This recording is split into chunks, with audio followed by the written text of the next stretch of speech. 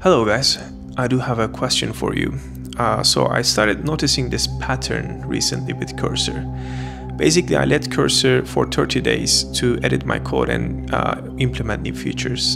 And at the end of this cycle, I started noticing that Cursor started producing more bugs than uh, implementing features actually. Every time it implements something, then I realize there's uh, tons of bugs appearing and they're uh, related to other changes that Cursor did throughout this 30-day uh, cycle.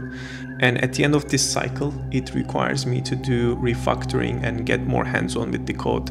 And this takes time, obviously, because I need to fix all the issues and all the uh, things that doesn't make sense. And I'm wondering if this is happening to you or you started noticing this as well. Because it makes me think if uh, at this point AI is making me faster or just taking the same amount of time but changes my workflow completely.